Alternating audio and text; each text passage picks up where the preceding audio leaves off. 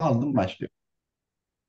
Şimdi diyoruz ki arkadaşlar 67 euro aşağıdakilerden hangisi IMF kararıyla üye ülkeleri rezerv sağlamak amacıyla yaratılan karşılığı olmayan ve üye ülkelerin kabul etmesiyle geçerli kazanan uluslararası bir likidleşir. Şimdi arkadaşlar 1947 yılında ne kuruldu?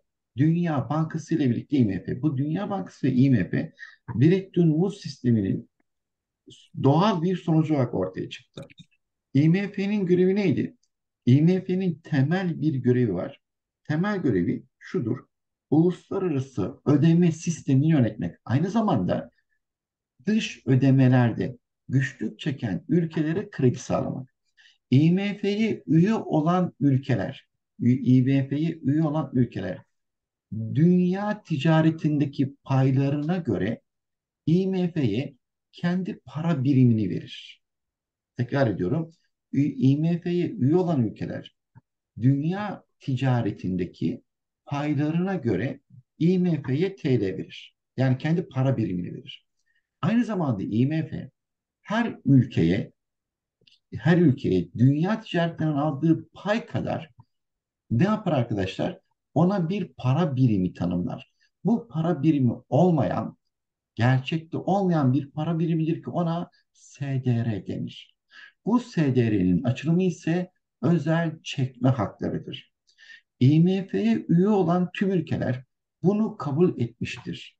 Dolayısıyla diyelim ki Türkiye'nin Amerika, Türkiye'nin Amerika Birleşik Devletleri'ne borcu var. Ama Türkiye'de atıyorum dolar yok. Türkiye diyor ki benim SDR'mden sana bunu ödeyeyim. E, ABD de bunu kabul ediyor. Dolayısıyla bu ne oldu? Bir rezerv aracı, bir likite çeşidi oldu. O halde IMF'ye bakın IMF'ye üye olan tüm ülkeler dünya ticaretinden aldığı pay kadar yerli para birimini verir. Bu bir. Aynı zamanda IMF'ye üye, üye olan ülkeler IMF dünya ticaretinden aldığı pay kadar IMF'de bir rezerve sahip olur ki ona da SDR denir. Dolayısıyla bu gerçekte olmayan aynı zamanda uluslararası bir ödeme aracı olan likitte çeşitlidir. Yanıtımız, yanıtımız Bursa ve sorumuzu çözdük. Bu soru anlaşılmış mıdır? Değil mi? Sıkıntı yok. O halde diğer soruya geçiyorum. 68. Merkantilist bir ekonomide aşağıdakilerden hangisi iktisat politikası aracı olarak benimsenmesi beklenmez? Çünkü arkadaşlar ben size burada merkantilizmin özelliklerini yazmak istiyorum. Mi? Hem tekrar edelim. Çünkü merkantilizmle ilgili gelir uzmanlığı mutlaka ne geliyor arkadaşlar? Soru geliyor. Çünkü merkantilizmin özelliklerine baktığımızda öncelikle merkantilizm ne zaman hayat bulmuştur?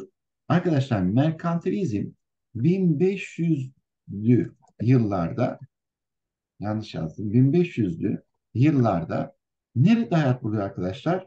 İngiltere'de hayat bulmuştur. Peki merkantilizm İngiltere'de hayat buluyor da merkantilist düşünce ne diyor? Arkadaşlar merkantilist düşünceye göre en önemli unsur ülkelerin neyidir? Zenginliğidir. Peki en önemli unsur ülkelerin zenginliği ise zenginlik neyle ölçülür? Diyeceğiz ki zenginlik ölçüsü ise ülkelerin sahip olduğu, aferin Ayşe, ülkelerin sahip olduğu nedir? Değerli madenlerdir. Bu değerli madenlerde nedir? Altın ve tabii ki ve tabii ki gümüştür. Peki en önemli unsur ülkelerin zenginliği ise o halde ülkeler zenginliğini arttırmak için ne yapmalıdır? Ülkeler zenginliğini arttırmak için tabii ki ve tabii ki de dış ticaret yapmalıdır. O halde dış ticaret zenginliği neydir arkadaşlar? Anahtarıdır. Peki o halde zenginliğin ölçüsü sahip olunan değerli madenler iken zenginliğin anahtarı ise dış ticarettir. Yani dış ticarette, dış ticarette fazla vermektir. Peki dış ticaret fazlası ne demek? Ülke dışarıya aldığından fazlasını ne yapmalıdır? Satmalıdır. O halde zenginliğin anahtarı dış ticaret ise merkantilistler ilk kez ne diyor bu nedenle? Devlet ekonomiye müdahale etmelidir diyor. Peki devlet ekonomiye niçin müdahale etmelidir? Bunun nedeni ise dış ticareti kontrol etmek için müdahale etmelidir. Peki merkantilistlere göre devletin, bakın devlete bir görev yüklenmiş. Neymiş bu görev? Devlet dış ticareti kontrol etmelidir. Dolayısıyla merkantilistler ne öneriyor? Bir dış ticaret politikası önermişlerdir. Peki bu dış ticaret politikası ne demektir? Şu demektir. Her türlü mamul mal ihracatı ihracatı serbest. İki, her türlü mamul mal ithalatı ne olacaktır? Yasak. Üç, her türlü ham madde ihracatı nedir arkadaşlar? Yasak. Niye ham madde ihracatını yasaklıyoruz? Çünkü ham maddeyi işleyip mamul mal haline getirip daha pahalı satıp ülkeye daha çok altın ya da gümüş girişini sağlamak için. Ve her türlü ham madde ithalatı ise nedir? Serbesttir. Peki ham madde ithalatını niye serbest bırakıyoruz? Bunun nedeni de ülke ham madde alacak, mamul mal hale getirecek ve dışarıya ihraç yapacak ve bu nedenle ülkenin altın ve döviz rezervi artacak. Peki merkantilistlere göre zenginliğin anahtarı dış ticaret fazlası yaratmaksa zenginliği daha da arttırmak için ne yapmamız gerekiyor? Zenginliği daha da arttırmak için sömürge yapmamız gerekiyor. Bu nedenle merkantilistlerde sömürgeler önemlidir. Önemli olmasının iki nedeni vardır. Sömürgeler hem bir pazardır hem de bir nedir? Ham madde kaynağıdır. Bu nedenle ülke sömürgelerini ne yapmalıdır? Korumalıdır. Ülke sömürgelerini koruyabilmek için de güçlü bir ordu ve güçlü bir donanmaya, güçlü bir donanmaya sahip olmalıdır. Peki güçlü bir ordu, güçlü bir donanmaya sahip olmak için neye ihtiyaç vardır? Askere ihtiyaç vardır. E asker, yabancının askeri senin için savaşır mı? Hayır. Bu nedenle merkantilistler nüfus artışını, nüfus artışını ne yapar? Desteklerler. Yani nüfusun artması için de ayrıca bir politika uygulanmasını ister. Ve yine arkadaşlar merkantilistler dış ticareti, dış ticareti incelerken nasıl inceliyor? Dış ticareti sıfır toplamlı olduğunu söylüyor. Peki dış ticaretin sıfır toplamlı olması ne demektir? Diyelim ki benim ülkem Ömer ülkesine 10 altınlık mal sattı. O halde Ömer ülkesinden bana 10 altın ödenecek? Ve benden de değil mi Ömer ülkesinde bana 10 altın ödenecek. Bendeki altın miktarı artarken Ömer'deki altın miktarı ne olacak? Azalacak. Niye azalıyor? Çünkü merkantilistlere göre dünyanın serveti yani dünyadaki altın ve gümüş miktarı sabittir. Bu nedenle bir ülkenin bir ülkenin kazancı diğer ülkenin kaybına ne olacaktır? Eşit olacaktır. Dolayısıyla bendeki artı 10 altın, Ömer'deki eksi 10 altın toplam ne olur? Sıfır olacaktır. Bunun nedeni neymiş? Dünyanın servetini sabit kabul etmekleriymiş. Yine arkadaşlar merkantilist dönemde karşımıza ilk kez bir şey çıkıyor. Bu nedir? Tabii ki bu bütçe hakkı kavramıdır. Peki bütçe hakkı kavramı ne demek? Bütçe hakkı deyince aklınıza maliye dersi gelir öyle değil mi? Evet. O halde hemen soralım. Ayşe sana soralım. Ayşe bütçe hakkı nedir? Maliye çalışıyorsundur sen. Söyle bakalım. Çalışıyorum hocam. Bütçe hakkı nedir o Bütçe zaman? hakkı. Hı. E, vergiler hocam. Hı. Yani devletimizden aldığı vergiler Hı hı. ve Doğru. e, harcamaları finanse etmesi. Doğru. Aferin doğru maşallah. O halde bütçe hakkını şöyle tanımlasak olur mu Ayşe? Desek ki e, kamu gelirleri olan vergilerin miktarını ve bileşimini, aferin doğru, kamu harcamalarının miktarını ve bileşimini ve yıllık bütçeyi onaylama hakkına bütçe hakkı denir. Doğru Evet mu? hocam. Doğru. Peki bu Doğru. kime Daha aittir? güzel oldu. Değil mi? Bu hak kime aittir Ayşe ve Ömer? Bu Devlete ait. tabii ki yasama organına aittir. O halde yasama organı aitse merkantilist dönemde karşımıza artık ne çıkmaya başlıyor? Karşımıza artık meclisler ne oluyor? Çıkmaya başlıyor. Hadi karşımıza meclisler çıkmaya başlıyorsa merkantilist dönemde karşımıza yavaş yavaş ulus devletler çıkar dersek doğru olur mu? Doğru Kesinlikle. olur hocam. Yine devam edelim. Bak şimdi manyak güzel bir şey var. Yine bu dönemde karşımıza ilk kez bir şey çıkıyor. Peki karşı çıkan ilk kez çıkan bu uygulama nedir? Bu uygulamada milliyetçilik, milliyetçilik ve ulusçuluk, ulusçuluk kavramları ekonomi ile ekonomi ile birleştiriliyor. Peki hemen sorayım. Ömer ve Ayşe ikinize soruyorum. Ömer sen yaz, sen ses açamıyorsun. Ayşe sen de söyle. Anlaştık mı? Anlaştık hocam.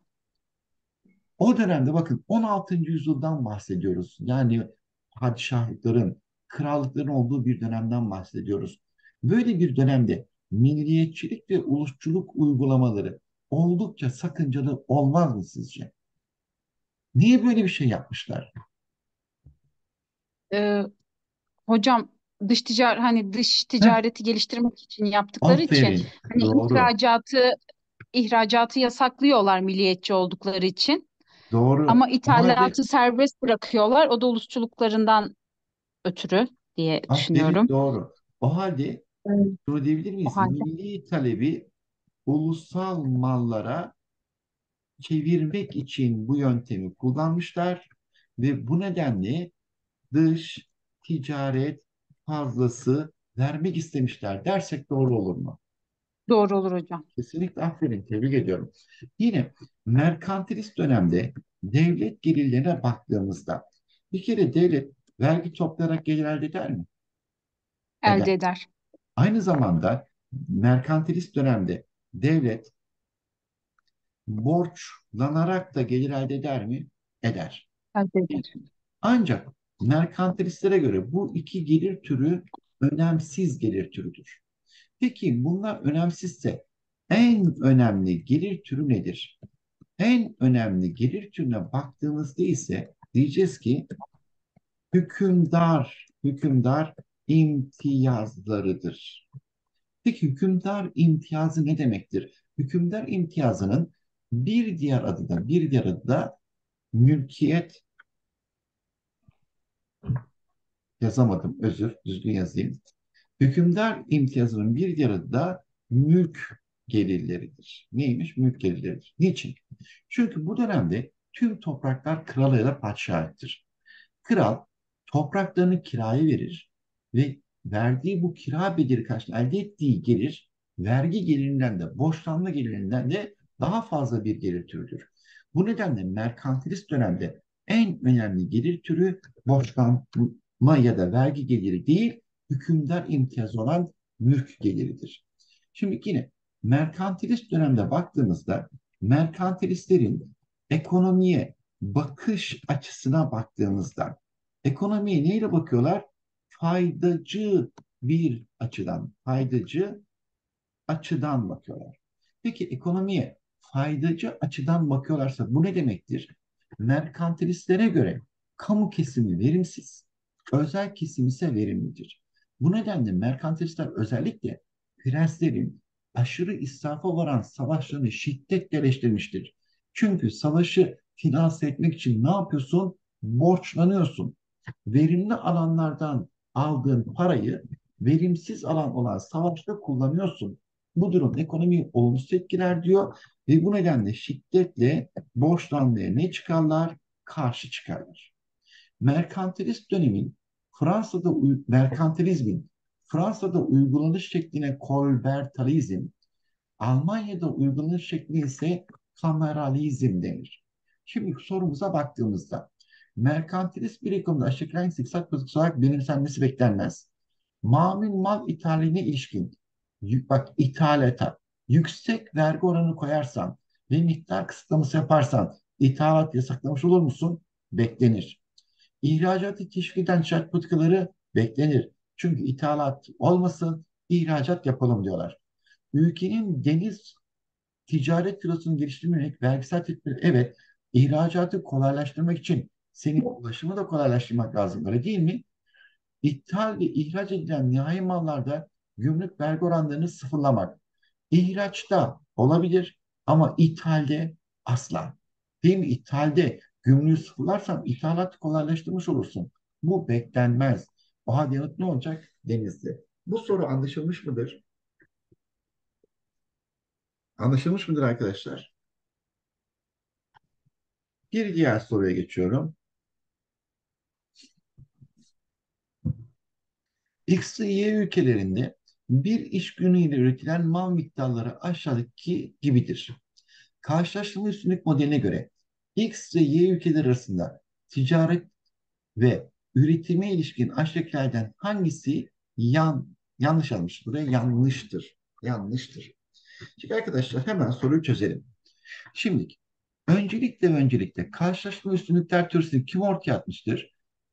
Ben bu soruyu çok ayrıntılı çözmek istiyorum. Ne dersiniz? Mutlak üstünlükleri de anlatarak çözmek istiyorum. Ne dersiniz? Böyle yapalım mı? Yapalım mı? Mutlak üstünlüklerle birleştirip öyle anlatalım. Ne dersiniz? Hadi öyle yapalım. Şimdi değerli arkadaşlar, dış ticareti açıklarken klasik iki teorimiz var. Ama bu klasik iki teorinde bazı varsayımlar var. Dış ticaret açıklayan klasik teorilere baktığımızda bir, öncelikle ne deriz? İki ülkeli ve iki mallı modeller kullanılır. İki, aynı zamanda ekonomide ne geçerlidir? Tam rekabet koşulları geçerlidir. Üç, aynı zamanda dış ticareti açıklamak için derler ki ül, e, ülkeler arasında yani ulaşım, uluslararası ulaşım ulaşım maliyetinin ne olduğunu kabul ederler? Sıfır. Ve dört, aynı zamanda şunu derler, dış ticareti açıklarken arkadaşlar İki ülkeli iki mağlu modeller tam rekabet koşulları vardır. Ulaşım maliyetleri sıfırdır ve dış ticarette dış ticarette para kullanılmaz derler. Dış ticarette para kullanılmaz. Hadi dış ticarette para kullanılmıyorsa ne yapılır? Mallar mallarla değiştirilir. Ve dış ticareti açıklayan klasik teorilerde karşımıza iki teori çıkar. Bunlardan birincisi, bunlardan birincisi mutlak üstünlükler, mutlak üstünlükler teorisi iken ikincisi ise arkadaşlar karşılaştırmalı, karşılaştırmalı üstünlükler teorisidir. Mutlak üstünlükler teorisini Adam Smith ortaya atmıştır. Karşılaşma üstünlükler teorisini ise David Ricardo ortaya atmıştır. David Ricardo. Bu iki teorinin de ortak noktası şudur. Her iki teoride neye dayanmaktadır? Emek, değer, emek değer teorisine dayanmaktadır. Peki emek değer teorisi nedir? Bir malın maliyetini o mal için kullanılan emek belirler der. Mutlak üstünlükler teorisi der ki bir ülke başka bir ülkeye göre en düşük maliyette ürettiği malın üretiminde uzmanlaşmalıdır. O halde sınavda soru en az maliyette diyorsa yanıt kesinlikle mutlak üstünlükler teorisidir. Karşılaşma üstünlükler teorisi der ki bir ülke başka bir ülkeye göre en düşük fırsat maliyetiyle ürettiği malın üretiminde uzmanlaşmalıdır. O halde sınavda soru en düşük, en düşük fırsat maliyeti diyorsa yanıt kesinlikle üstünlükler teorisidir. Peki bu en düşük fırsat maliyeti ne demektir? Tabii ki malın fiyatı demektir. O halde karşılaştırma üstünlükler teorisine göre yani David Ricardo'ya göre diyeceğiz ki yurt içi fiyatlarla, yurt içi fiyatlar ile yurt dışı fiyatlar, yurt dışı fiyatlar farklı olduğu sürece, farklı olduğu sürece dış ticaret yapılır der. Ne diyormuşuz? Yurt içi fiyatlarla yurt dışı fiyatlar farklı olduğu sürece dış ticaret yapılır.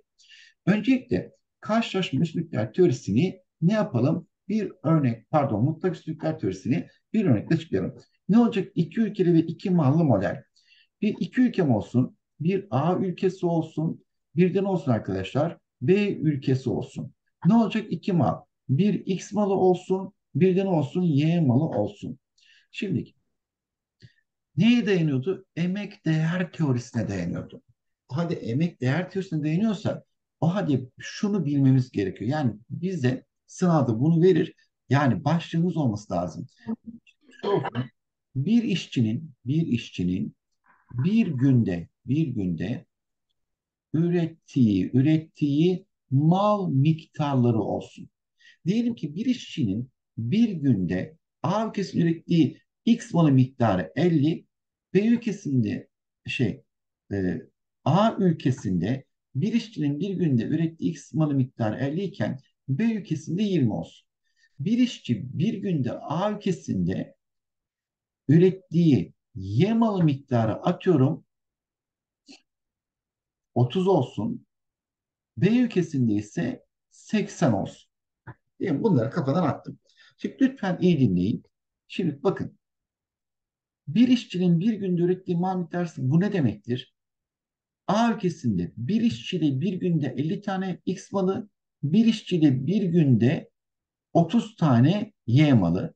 B ülkesinde bir işçide bir günde 20 tane X malı ve bir işçide bir günde 80 tane ne üretiliyormuş arkadaşlar? Y malı üretiliyormuş. Tamam. Şimdi bakın. Varsayımsal bir işçi alalım. Varsayımsal bu işçinin ücreti 100 TL olsun. Peki ne diyordu Adam Smith? Şunu demiyor muydu arkadaşlar? En düşük maliyette üretilen malın üretiminde uzmanlaşmalı. Bak 50 tane mal üretmişim. İşçiye 100 lira demişim. 100 bölü 50. Tek bir malın maliyeti 2 TL oldu mu? 100 bölü 30. Tek bir malın maliyeti 3.3 TL oldu mu? 100 bölü 20. Tek bir malın maliyeti 5 TL oldu mu? 100 bölü 80. Tek bir malın maliyeti 1.2 TL oldu mu? Oldu. Bak bunları buldum. Ne kadar kolay. Şimdi bak bakalım. X malı A ülkesinde kaç TL mal ediliyor? 2 TL. B ülkesinde 5 TL. Hangisi daha ucuz üretti?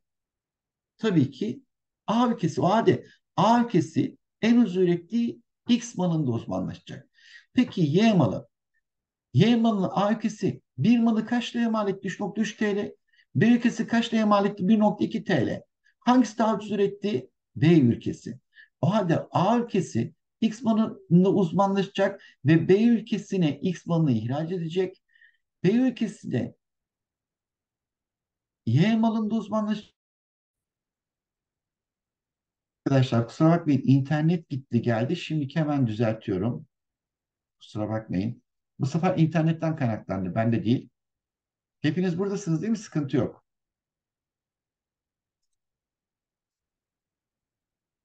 Sesim geliyor mu? Tamam. Sıkıntı yok. Hemen başka bir internete bağlanıyorum. Kusura bakmayın. Böyle yani Türk Telekom maalesef burada bunu yapıyor. Tamam. Hemen internetimi değiştiriyorum. Daha sağlam bir internete geçiyorum. Evet. Bir saniye içinde geçeceğim. Geçtim. Evet. Şimdi arkadaşlar internetimiz kopmayacak artık ve devam edelim. Şimdi bakın arkadaşlar. Burası anlaşıldı mı? Öncelikle sorayım. B ülkesi Yemen daha ucuz ettiği için A ülkesine ne ihraç edecek? Yemen'i ihraç edecek. Anlaştık mı? Burası anlaşıldı mı? Bu kısım anlaşıldı mı?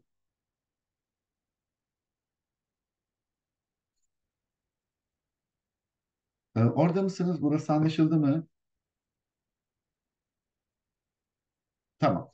Anlaşıldı. Şimdi arkadaşlar ben aynı soruyu farklı bir şekilde çözeceğim. Bak şimdi. Yine iki tane ülkemiz var. Neymiş bunlar? A ülkesi, A ülkesi ve ne diyorum arkadaşlar? B ülkesi. Yine iki malımız var. X malı ve ne var arkadaşlar? Y malı. Ve yine aynı sayıları yazıyorum. Ne yazıyorum? 50, 20, 30 ve 80. Ama şu başlığı değiştiriyorum. Başlığı şöyle yazıyorum. X ve Y malı üretmek için, X ve Y malı üretmek için gerekli gerekli iş gücü miktarları diyorum. İşte bu durumda sorunun cevabı değişir. Niçin? Çünkü ne diyorduk yukarıdaki soruda? Bir işçinin bir gün ürettiği mal miktarları derken aşağıda ise X ve Y malı üretmek için gerekli iş gücü miktarı diyoruz. O halde A ülkesinde bir tane X malı üretmek için 50 tane işçi, B ülkesinde bir X malı için 20 tane işçi, A ülkesinde bir Y malı için 30 tane işçi, yine B ülkesinde bir Y malı için 80 tane işçiye ihtiyaç var. Peki işçinin ücreti ne kadardı? 100 TL'ydi. Hadi burada 50 işçi kullanıyorsam bir X malının maliyeti 5000. 20 işçi kullanıyorsam 2000. 30 işçi kullanıyorsam 3000. ve 80 işçi kullanıyorsam 8000 değil mi? Dolayısıyla X malının hangisi daha ucuz üretti bu sefer? B ülkesi. Y malının hangisi daha ucuz üretti bu sefer? A ülkesi. Bakın sorunun cevabı değişti mi? Bu durumda B ülkesi X malında uzmanlaşıp ihraç edecek. A ülkesi de Y malında uzmanlaşıp ihraç edecek. Bu nedenle sınavda soruyu çözerken şu başlığa dikkat etmen gerekiyor. Bir işçinin bir gün ürettiği mal miktarı dersek onu farklı düşünüyorum. Tıpkı burada olduğu gibi varsayımsal bir işçiye 100 lira veriyorum. Miktarlara bölüp birim maliyeti buluyorum. Eğer X mal üretmek için gerekli iş gücü miktarı diyorsa varsayımsal bir işçi alıyorum. Ücretine 100 diyorum. Verilen işçi miktarıyla çarpıyorum. Buranın mantığı anlaşıldı mı? Buranın mantığı anlaşıldı mı? Herkesin oldu. Şimdi devam edelim. Şimdi de şöyle yapıyorum. Yine aynısını yapıyorum. Bakın. A ülkesi diyorum. A ülkesi. Ne diyorum? B ülkesi diyorum. B ülkesi. Yine X malı diyorum. Ve ne diyorum? Y malı diyorum. Yine başlamış olsun arkadaşlar. Başla yazayım. Bir işçinin, bir işçinin bir günde, bir günde ürettiği mal miktarları diyorum. Yine şöyle olsun. Burası arkadaşlar 50'ye 80 olsun. Burası da 100'e hmm, olmadı. Şunu bir sileyim. Kusura bakmayın. Burası 50'ye 80 olsun. Burası da 20'ye 10 olsun. Şimdi işçi ücretimiz neydi? 100. 100 bölü 50. Birim maliyet nedir arkadaşlar? Birim maliyet 2 TL. 100 bölü 20 birim maliyet 5 TL. 100 bölü 80 1.2 TL. 100 bölü 10 10 TL. Dikkat edersen A ülkesi hem X malını hem de Y malını daha ucuza mı üretiyor? O halde A ülkesi her iki malda da mutlak üstündür. Bu durumda A ve B ülkeleri arasında ne yapılamaz? Dış ticaret yapılamaz. O halde Adam Smith diyor ki bir ülke her iki malda da mutlak üstünse ülkeler arasında kallı dışarı yapmak mümkün değildir diyor. Peki buna kim kaç çıkıyor? David Ricardo. Ne diyor? Diyor ki mutlak üstünlükler karşılaştırmalı üstünlüklerin özel bir durumudur. Mutlak üstünlüğün olduğu her durumda karşılaştırmalı üstünlük vardır. Ancak karşılaştırmalı üstünlüğün olduğu her durumda mutlak üstünlük olmayabilir. Çünkü David Ricardo'ya göre dış ticaretin yapılabilmesi için yurt içi fiyatlarla yurt dışı fiyatların farklı olması yeterlidir. Peki bunu sorumuzda çözelim. Ben öncelikle ne yapmam gerekiyor? Yurt içi fiyatları bulmam gerekiyor. Öncelikle X ülkesi için yurt içi fiyatları bulalım. X ülkesine bak. Yurt içi fiyat 80 tane A malı neymiş? 40 tane B malına eşitmiş. Hadi X ülkesine bak. 40'a bölersen 1, 40'a bölersen 2. 2 tane A malı bir tane B malına mı eşit oldu? Şimdi Y ülkesi için yapalım bunu. Y ülkesinde ise bak şimdi 10 tane A malı değil mi? Gördüğün gibi 20 tane B malına eşitmiş. Ona böldüm 1, ona böldüm 2. O halde Y ülkesinde ise bir tane A malı, iki tane B malı ediyormuş. Ben size şunu soruyorum. Ey sevgili arkadaşlar. iki tane A malı verip X ülkesinde bir tane B malı alıyorsam A mı ucuzdur B mi ucuzdur? Hangisi ucuzdur? İki verip bir alıyorsam bir aldığım nedir? Az aldığım pahalıdır. Çok aldığım ise nedir? Ucuzdur. Yani A ülkesinde özür diliyorum X ülkesinde A malı ucuzdur. Şimdi B ülkesine bakalım. Bir A verip iki B alıyorsam yani çok aldığım B nedir? Ucuzdur. Az aldığım A ise nedir arkadaşlar? Pahalıdır. Yani B ülkesinde de pardon Y ülkesinde de B malı ucuzdur. O halde X ülkesinde A ucuz olduğu için X ülkesi A malında Y ülkesinde B mal ucuz olduğu için Y ülkesinde B malında uzmanlaşmalıdır. Peki bu ülkeler dış ticaretten nasıl kazanç elde eder? Belki bunu da sorabilir. Şimdi ona da bakalım. Öncelikle öncelikle lütfen burayı iyi dinleyin. Buraya kendinizi verin. Çünkü buradan, buradan soru gelebilir bu sene. Öncelikle biz X ülkesinin X ülkesinin neyini bulalım? Dış ticaretten kazancını. Dinle. Peki kazanç şu değil midir? Kazanç. Aldığım ile aldığım ile üretebildiğim, üretebildiğim, uf yazamadım, düzgün yazayım, özür. Aldığım ile üretebildiğim arasındaki fark benim kazancımı vermeyecek midir? Üretebildiğim az ise, aldığım çok ise, sonuç pozitifse kazançlı olacağım. Peki A nerede uzmanlaşacaktı? Şey X ülkesi nerede uzmanlaşacaktı? A malında. Dinle. Şimdi bak bakalım. A malında uzmanlaşıp A malı satacağına göre X ülkesinde bir tane A malı bunu karşıya verersem 1 bölü 2 tane B malı mı yapıyor? Yani bir A malı karşılığında 1 bölü 2 tane ne üretebiliyorum? B malı. Peki X ülkesi bir tane A verdiğinde Y ülkesine bir A karşılığında ne kadar B alabiliyor? Aldı ise 2 tane. 2 tane B'den 1 bölü 2 B'yi çıkartırsam 3 bölü 2 B X ülkesinin dış ticaretten kazancı olmayacak mı? Burası anlaşıldı mı? Takıldığınız yer varsa sorun hemen. Burası anlaşıldı mı? Ayşe, Aleyna, Ömer, Semra, Merve. Burası anlaşıldı mı? Tekrar yapalım. Tekrar yapalım. Şimdi Semra, X ülkesi şurada gördük değil mi? A, X ülkesi A malını ucuz, B malı pahalı. Y ülkesinde A malı pahalı, B ucuz. Hadi X ülkesi hangi malda uzmanlaşıyor? A'da. Peki şu ikiye karşı X ülkesinde bir tane A, bir bölü iki tane B mi yapıyor? Öyle değil mi? Ses aç, ses aç. Beraber gidelim daha iyi anlarsın. Tamam hocam. Tamam. Bir tane A, bir bölü iki B. Yani üretebildiğim bir bölü iki B malı. Anlaştık mı? Tamam hocam. Nerede uzmanlaşacaktım? Hangi malda? Almalı. Hadi ben A malını Y ülkesine ihraç ettiğimde bir A malı karşılığında ne kadar B malı alabiliyorum? 2B. Hadi 2B aldım. Bu aldığım, bu da üretebildiğim.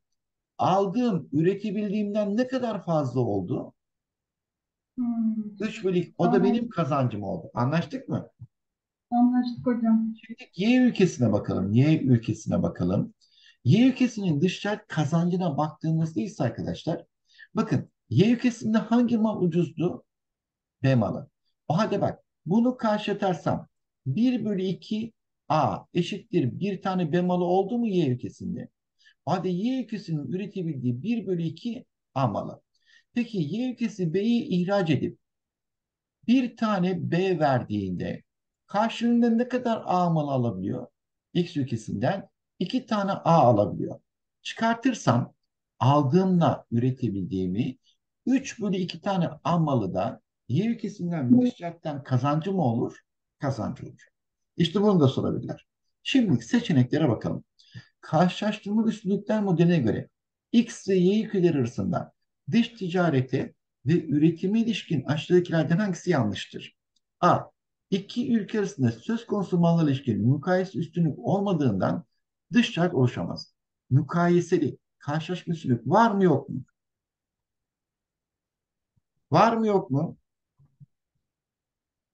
Ticaret olur hocam. Eğer mutlak olsaydı olmayacaktı. Aynen mutlak üstünlük olsaydı olmayacaktı. Değil mi? Yanıt bir mi? Bu yanlış. B'ye bakalım. X ülkesi her iki malların mutlak üstünlüğe sahiptir. Evet. Bak do bakalım doğru mu? İş ücreti 100'dü. 100 bölü 81,2. 100 bölü 42.5. 100 bölü 10, 10. 100 bölü 25. Gerçekten de X ülkesi hem A malın hem de B malını daha ucuz ürettiği için mutlak üstün müdür her iki malda da? Her iki malda da mutlak üstündür.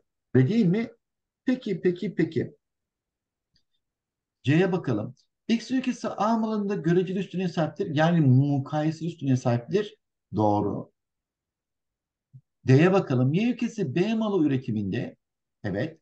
X ülkesi A malı üretiminde uzmanlaşıp diğer malı ithal ederse iki ülkede dışarıdan kazanç sağlar. Neye göre?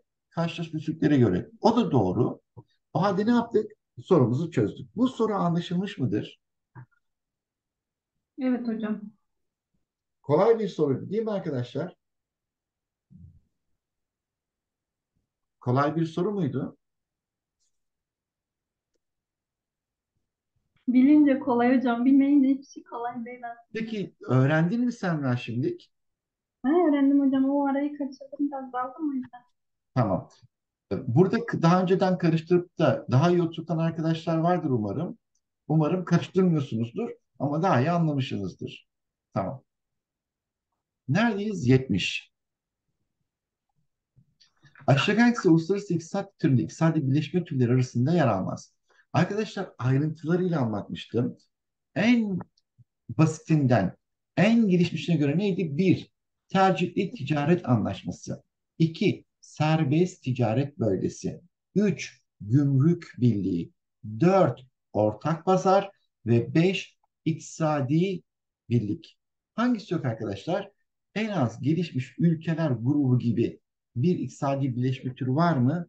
Bir iktisadi birleşme türü yok. Yanıtımız ne olacak? Bursa. Arkadaşlar yine süremiz bitti bir ara vereceğiz.